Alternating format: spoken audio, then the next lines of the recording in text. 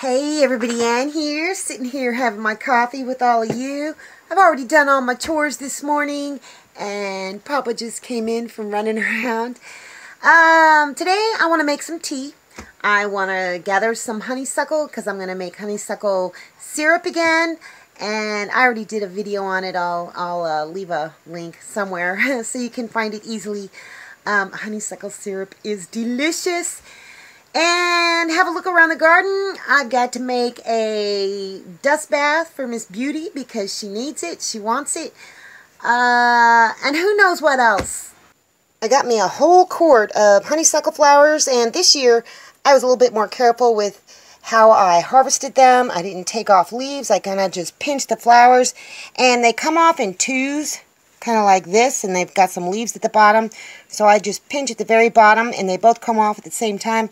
I wanted to harvest mostly white ones because they're the freshest but if uh, these flowers come in twos if one of them was slightly pale yellow I went ahead and picked it and I'm going to use it. So I'm just going to get this all out here right now because I think there might be some bugs in it. And let the bugs crawl out get any of the last green leaves out and then get to starting on my syrup. I'm going to do it a little bit differently this year. I got most of the leaves out. If there's a couple left in there, not a big deal. So I'm just going to stuff this back into the jar and get it all filled up again. And fill the jar up with some nice filtered water all the way to the top. I actually forgot to do something. You're supposed to kind of bruise the honeysuckle a little bit before you put it in the jar. So I'm just going to kind of push it down a little bit and bruise it this way. I think it'll still work. I didn't do it. I didn't do this last year. It's just something I read and it makes sense. So I'm just going to kind of push this down for a little bit and then put the lid on it and just put them out here in the sun. Yeah, those two, they are uh, peppermint lemon balm tea. I put them out there right before I started looking for all that stuff. It was cold water and now it's kind of hot. It's pretty warm water in there. So I'm just going to let the sun do its work. So this is cold now.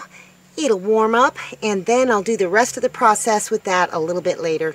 This little garden bed doing? Well, it's doing great. There's beans there. There's beans there. And there's beans there, so I don't know if they'll grow and actually give me beans, but if they do, it'll be awesome because they'll grow all the way up this trellis.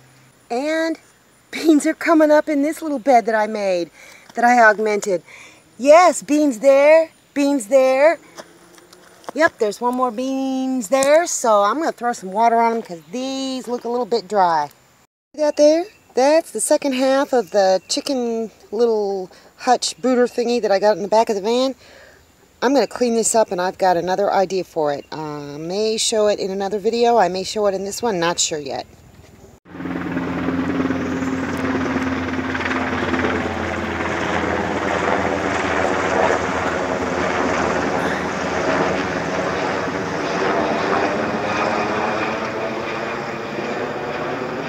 I've got those flying over my head a couple times a week. Very low, very slow. Weird. But there's the little dust bath that I made. I had made that frame previously. It's not very even, but I know Beauty has been in it several times. I just uh, kind of dug up some of the soil. I put more very dry clay, sand sort of soil in it. I put some wood ash in it and some diatomaceous earth and she's been in it a couple times. Yes, yes she has. I should just put up a sign on the roof or something that I have a YouTube channel. You can come and watch me whenever you want to. I, show everything. I do everything on my property, so it's weird. They, they just come down and they go slow and they fly very, very low. But whatever. I ain't got nothing to hide. Last of the things that hadn't come up yet are coming up. Yep, the yellow summer squash in every single spot. I've got them coming up. So that's wonderful. Yeah, I haven't watered yet today. It's supposed to rain tonight. I watered a couple times yesterday, so I'm thinking that I can just hold off because those two barrels are empty. That one's almost empty. Oh, yeah, I forgot to tell you. Yeah, I've started the beginning of a trellis thingy. Um, just sticks. Just poked them down in there. I figured it'd be better to get that going now.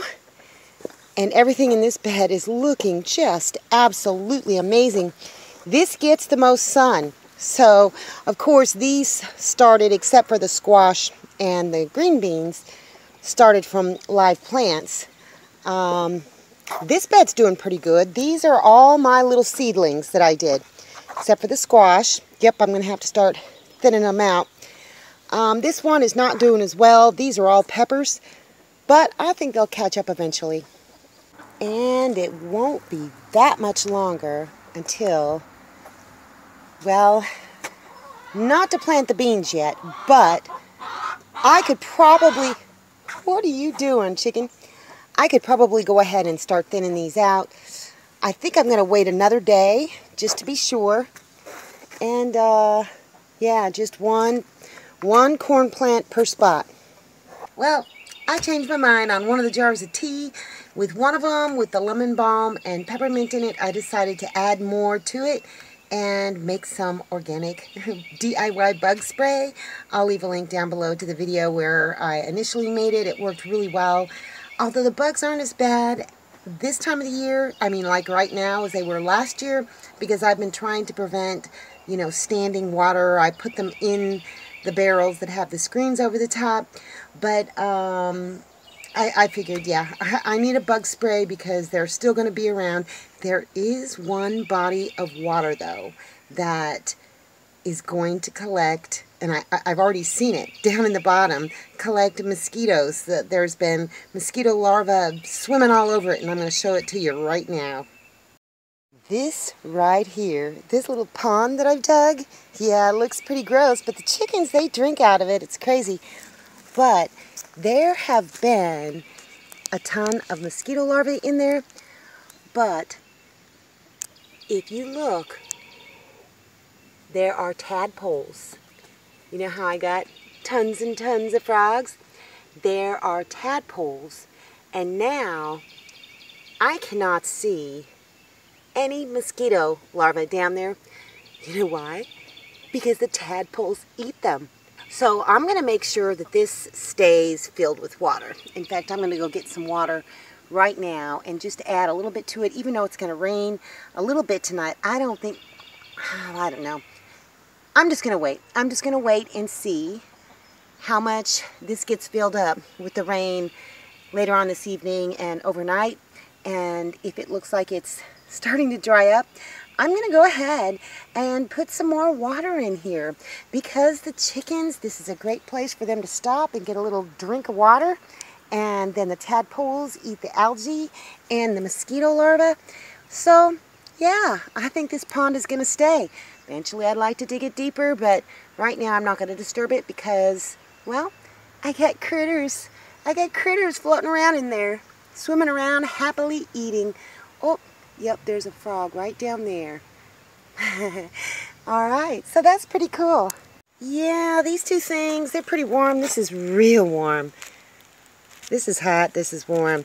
I think I'm going to let them sit out another day.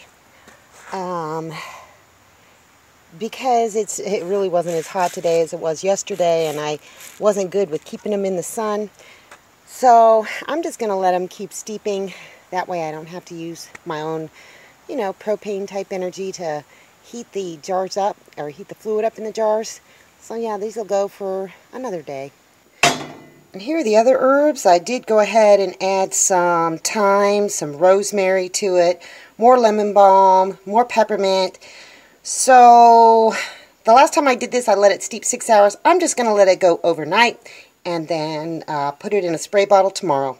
It's been a very tranquil day today. I've had a nice day. It did get a little warm, but not like 92 degrees or anything like that. So just kind of piddled around and uh, brainstormed some things, and I'm very pleased with the way my garden is going. Anyhow, that's all I got for you guys today. See you in the next video.